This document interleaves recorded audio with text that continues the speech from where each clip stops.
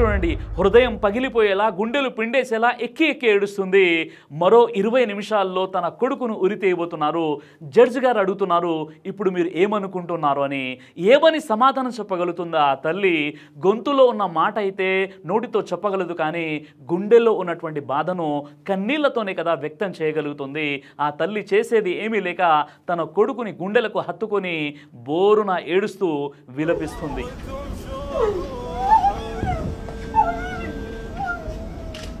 Saudi అరేబియాలోని Najran అనే ప్రాంతంలో ఒకే వంశానికి చెందినటువంటి ఇద్దరు కజిన్ బ్రదర్స్ మధ్య గొడవ జరిగింది. మొహమ్మద్ బిన్ ముర్సల్ అనేటటువంటి వ్యక్తి మొయిద్ బిన్ అబ్దుల్లాని షూట్ చేసి చంపేశాడు. ఆ తర్వాత మృతుడి కుటుంబీకులు పోలీసులకు ఫిర్యాదు చేయడం జరిగింది. పోలీసులు వెంటనే వచ్చేసి ఆ వ్యక్తిని అరెస్ట్ చేశారు. ఆ తర్వాత జైల్లో పెట్టడం జరిగింది.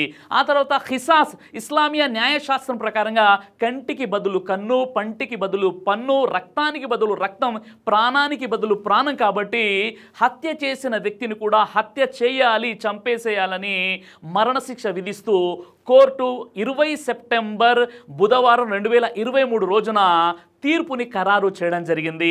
ఆ తర్వాత కుటుంబీకుల పరిస్థితి ఏంటి అంటే హత్య చేసినటువంటి మొహమ్మద్ బిన్ ముర్సల్ కుటుంబానికి చెందినటువంటి వృద్ధులు యువకులు పిల్లలు అంతా కలిసి హతుడి ఇంటి ముందు వచ్చి ఎంతగా క్షమాభిక్ష వేడుకున్నారంటే సౌదీ గవర్నమెంట్లో ఇంతగా క్షమాభిక్ష కోసం వేడుకున్నటువంటి కుటుంబం మరొకటి లేదు అని కూడా మనం చెప్పవచ్చు. అంతగా వారు క్షమాభిక్ష క్షమాభిక్షకై అర్థించారు. వాళ్ళు తమ తలకు చుట్టుకున్నటువంటి తలపాక అమామ తీసేసి కింద పెట్టేసి వాళ్ళ చొక్కాలు విప్పేసి ఆ తర్వాత ఒక జంతువుల రోకాలుని రోకాలకు తాళ్ళతో కట్టేసుకొని మట్టి తీసి తలపై పోసుకొని క్షమాభిక్ష వేడుకున్నారు. దయచేసి మీరు మరణశిక్ష నుండి క్షమించి వేయండి అని అయినప్పటికీ కూడా క్షమించడం జరగలేదు. చివరికి వారు పెద్ద పెద్ద సూట్ కేసులో సౌదీ కరెన్సీ రియాల్ని చూపిస్తూ ఆ తర్వాత వాళ్ళ దగ్గర ఉన్న బంగారం అంతా తీసుకొచ్చేసి మీకు ఏం కావాలంటే అది ఇవ్వడానికి మేము సిద్ధంగా ఉన్నాం. మా ఆస్తులన్నీ కూడా మీ పేరిట చేయడానికి మేము సిద్ధంగా ఉన్నాము. దయచేసి మరణశిక్ష నుండి మీరు తప్పించండి అని క్షమాభిక్ష వేడుకున్నప్పటికీ కూడా ఆ హతుని కుటుంబీకులు క్షమించలేదు. ఎందుకంటే ఇక్కడ క్షమించడం అనేది అక్కడ కేవలము ఆ యొక్క హతుని కుటుంబీకుల చేతుల్లోనే ఉంటుంది తప్ప అక్కడ ఉన్నటువంటి ప్రభుత్వం అయినా మినిస్ట్రీ అయినా ఈ విషయంలో జోక్యం చేసుకోజాలదు ఎందుకంటే క్షమించడం అనేది కేవలం మృతుడి కుటుంబీకులకు మాత్రమే అధికారం ఉంటుంది తప్ప రాజుకు కూడా అధికారం ఉండదు. ఇక్కడ హంతకుడు ఎవరైతే ఉన్నాడో అతడు కేవలం ఇరవై ఐదు సంవత్సరాల వయసు అతను ఒక చిన్న బాలుడు కూడా ఉన్నాడు. ఆ బాలుడు వచ్చేసి కూడా మా నాన్నను క్షమించండి అంటే ఆ మృతుని యొక్క కుటుంబీకులు ఎవరైతే ఉన్నారో వారు క్షమించడానికి ముందుకు రాలేదు కాబట్టి అతనికి ఉరి శిక్ష పడిపోయింది. ఇలాంటి విషయాల్లో సౌదీ అరేబియా చాలా ఖచ్చితమైనటువంటి రూల్స్ పాటిస్తుంది. ఎలాంటి కాంప్రమైజ్ లేకుండా గతంలో కూడా ఒక రాజవంశానికి చెందినటువంటి వ్యక్తి మరో వ్యక్తిని అన్యాయంగా హత్య చేస్తే ఆ రాజవంశానికి చెందినటువంటి వ్యక్తిని హత్య చేయడం జరిగింది. న్యాయపరంగా ఇలాంటి ఖచ్చితమైనటువంటి రూల్స్ని సౌదీ అరబ్ దేశం పాటిస్తుంది.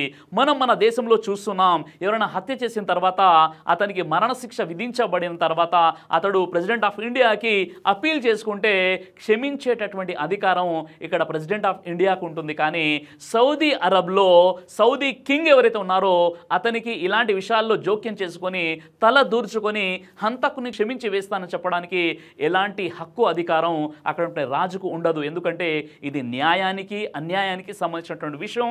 ఈ పూర్తిగా క్షమించడం క్షమించకపోవడం అనేది మృతుడి కుటుంబీకులు ఎవరైతే ఉంటారో తల్లి తండ్రి ఆ ఇంటి పెద్దలు ఎవరైతే ఉంటారో వారి మీదనే ప్రభుత్వం పెడుతుంది.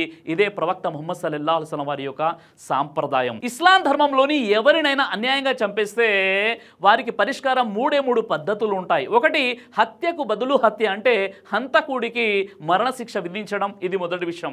రెండో విషయం 你有 రక్త పరిహారం తీసుకొని వదిలివేయడం ఈ యొక్క అధికారం అనేది కేవలము ఆ హతుడి యొక్క కుటుంబీకులకు మాత్రమే ఉంటుంది.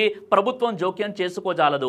మూడో విషయం ఏంటంటే ఎలాంటి పరిహారం తీసుకోకుండా అల్లా కోసం క్షమించి వేయడం ఇది ఉత్తమ పద్ధతి అని కూడా ప్రవక్త వారు తెలియజేశారు. మూడే మూడు పద్ధతులు ఉన్నాయి. నాలుగో పద్ధతి గవర్నమెంట్ జోక్యం చేసుకోవడం అనేది ఎట్టి పరిస్థితుల్లో ఇక్కడ కనిపించదు. అయితే ఇక్కడ మనం తెలుసుకోవాల్సినటువంటి విషయం ఏంటంటే మొహమ్మద్ బిన్ ముర్సల్ అనేటటువంటి వ్యక్తి మొయిద్ బిన్ అబ్దుల్లాని ఎప్పుడైతే హత్య చేయడం జరిగిందో ఆ తర్వాత మూడు నెలలు అతడు జైల్లో ఉన్నాడు.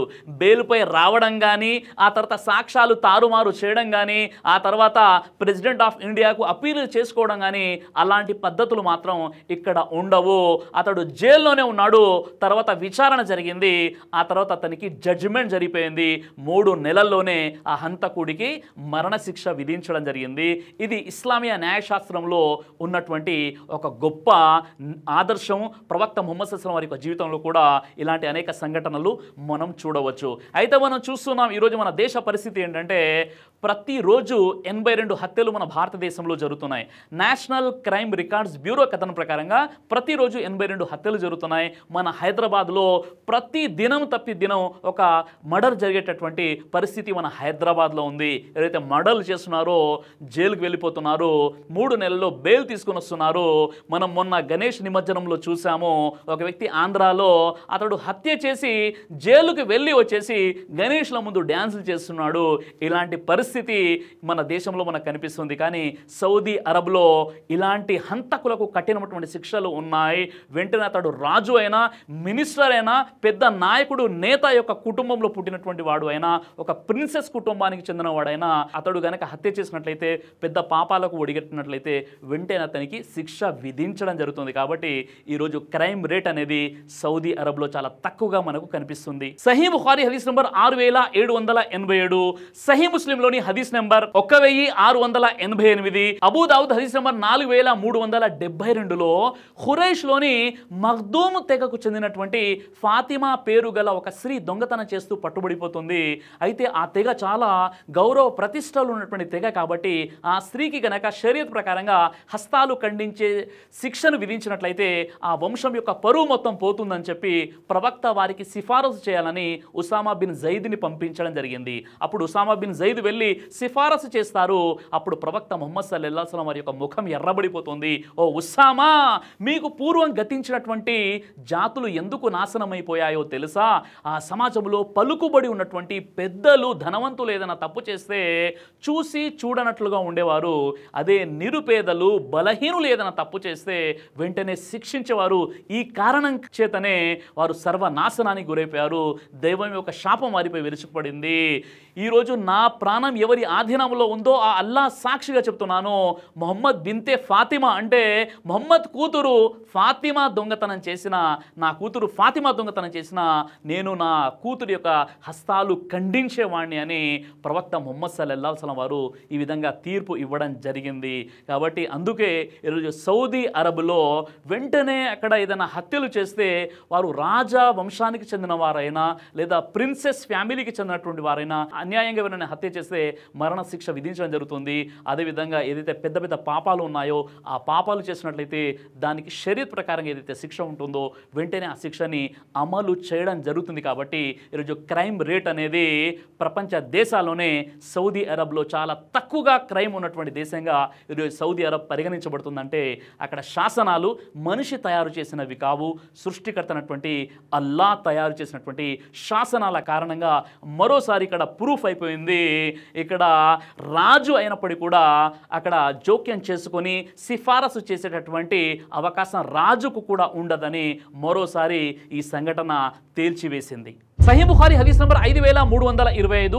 హజరత్ ఆయిషా రది అల్లాహు అన్హా వారి ఉల్లేఖనం ప్రకారంగా ప్రవక్త వారు ఈ విధంగా తెలియజేశారు తల్బినా హృదయానికి మంచి చేస్తుంది రోగి యొక్క బాధ మరియు ఆందోళనను దూరం చేస్తుంది అని ప్రవక్త ముహమ్మద్ సల్లల్లాహు సలం వారు తల్బినా గురించి చెప్పినటువంటి విషయాలు ఇవి. మీకు పదకొండు రకాల డ్రై ఫ్రూట్స్తో తయారు చేయబడినటువంటి తల్బీనా కోసం అలాగే ఫారెస్ట్ హనీ కోసం హిజామా కోసం మీరు ఈ నెంబర్ని తప్పనిసరిగా సంపాదించవచ్చు